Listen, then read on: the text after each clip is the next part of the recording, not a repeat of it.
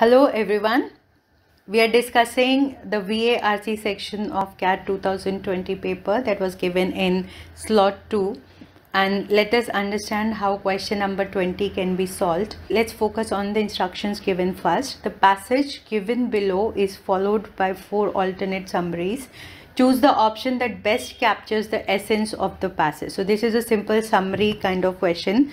And to, to be able to solve this question we need to first identify what are the main opinions or the main ideas that have been discussed in the passage. So let's read the passage together with the Treaty of Westphalia, the papacy had been confined to ecclesiastical functions and the doctrine of sovereign equality reigned. What does this sentence mean?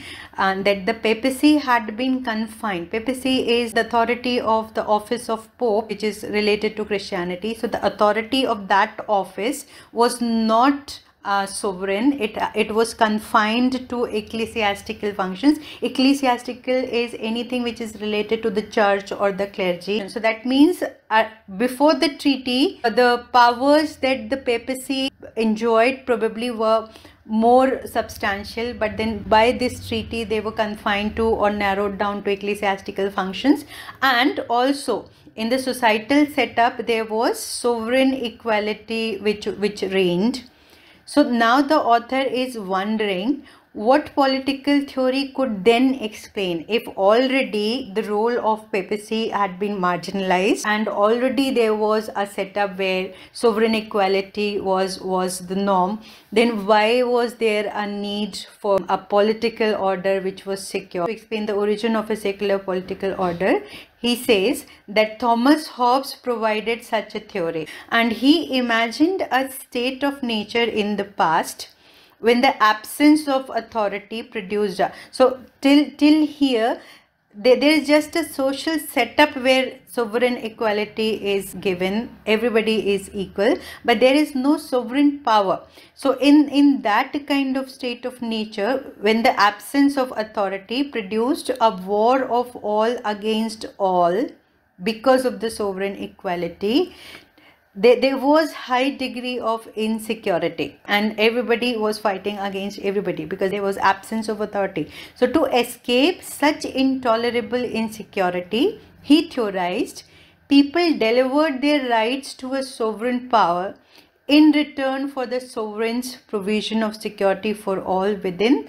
the state's border. So it was a mutual setup where people voluntarily gave gave up their rights and accepted the authority of a sovereign ruler. And in return the ruler promised the provision of security for all the people within the state. So that was the origin of a secular political order with authority invested in in that particular order the sovereign state's monopoly on power was established as the only way to overcome the perpetual fear of violent death and war. So to overcome that state of nature where there was a continuous fear of violent death and war, there was a kind of setup mutually where it was agreed upon that people will surrender their rights to a sovereign power and in return the sovereign power will provide security to all within the state's border. So this is what the passage talks about. I've, I've just paraphrased the passage for you and if we look at the discussion that we've done, uh, there are two or three points that come out to be uh, essential or significant points from the passage. One is what was the need of this secular political order when papacy was already confined to ecclesiastical functions to answer that question, Hobbes has come up with a theory. The theory says that there was a mutual transaction that happened. People surrendered their rights and in return, the authority uh, promised security to all the people within its border. This is what is given in the passage. So, these two three points have to be included in the option for the option to be complete and correct anything that distorts this idea or leaves this idea incomplete will be eliminated. That option cannot be our answer. Let's examine the options one by one.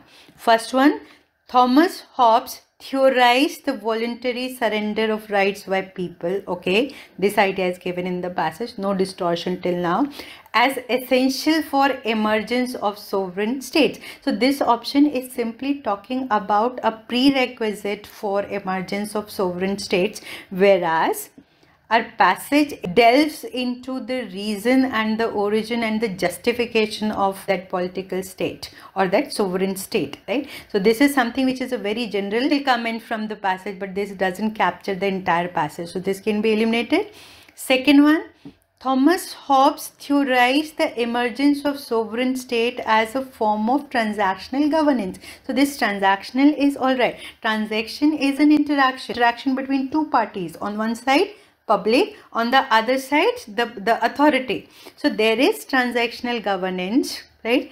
The emergence of sovereign state as form of transaction transactional governance to limit the power of the papacy. Now this part of the option is wrong. So this is an excellent example of half correct and half wrong option because we know that this is not the cause for emergence of sovereign states because papacy was already confined to ecclesiastical functions. There was no need to limit the power of the papacy so this is a wrong cause and effect given in the option and that's why distortion that's why second option can be eliminated. Okay. Now let's see third one. Thomas hobbes theorized the emergence of sovereign states based on a transactional relationship between people and sovereign state that was necessitated by a sense of insecurity of the people.